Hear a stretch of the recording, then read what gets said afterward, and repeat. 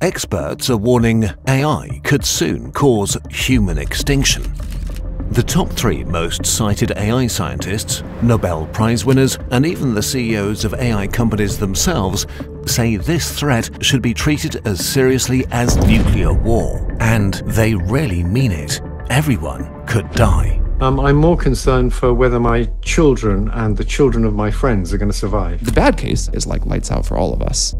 So, why are experts suddenly warning about this? While we go about our daily lives, AI is evolving beyond anything anyone could possibly control. AI companies are openly racing to create superintelligence, self-improving AI vastly more capable than any person, any company, or any nation. Many AI researchers think these systems could arrive in the next five years. If superintelligence is created, experts warn humanity will be powerless against it, and we're getting closer by the day. Right now, AI can already do things people would have called sci-fi just a few years ago. AI engineers say creating today's AI is less like programming a machine and more like growing an organism. These systems are unpredictable black boxes, and their creators admit maybe we now understand 3% of how they work.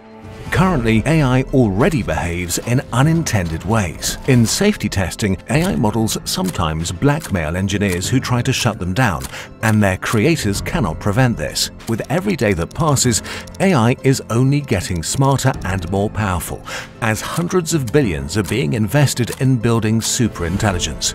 That's why experts are warning that AI could end humanity. So what can we do about this? Humanity has dealt with existential threats before. We saved the ozone layer from catastrophic collapse, and we avoided nuclear war. Now, we must prevent the development of uncontrollable superintelligent AI that threatens our civilization. But what can you do? Control AI has built simple tools to help you contact your representatives with just a minute of your time, along with resources to learn more and share the issue with others. Take action today, make your voice heard, and help keep humanity in control.